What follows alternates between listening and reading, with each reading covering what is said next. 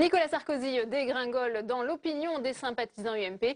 Euh, selon un sondage Ipsos dévoilé hier soir, l'ancien président de la République perd 9 points et avec 31% d'opinion favorable se retrouve tensé par le maire de Bordeaux, Alain Juppé, qui engrange une progression de 4 points avec 76% d'opinion positive. Samia Béchir. C'est un peu sa revanche. Alain Juppé, l'homme qu'on disait fini en 2004, fait aujourd'hui figure de favori pour la primaire UMP. Les derniers sondages lui donnent 12 points d'avance sur Nicolas Sarkozy.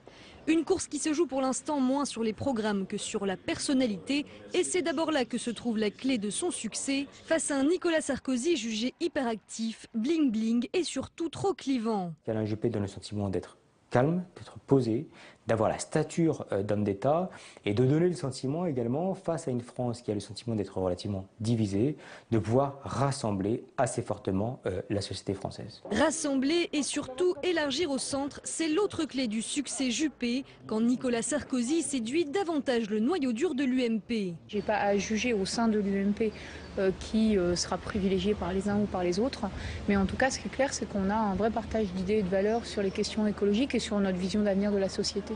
Si la montée en puissance d'Alain Juppé fait de l'ombre à Nicolas Sarkozy, c'est aussi l'autre candidat, François Fillon, qu'elle pénalise.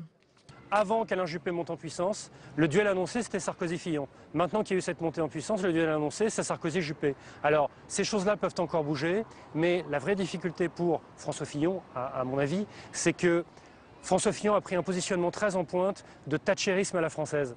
Ce positionnement est minoritaire à l'intérieur même de la droite. Mais François Fillon peut compter sur le soutien d'une centaine de parlementaires et Nicolas Sarkozy a toujours la confiance des militants. Mieux que personne, Alain Juppé sait que les sondages peuvent s'inverser d'ici à 2016.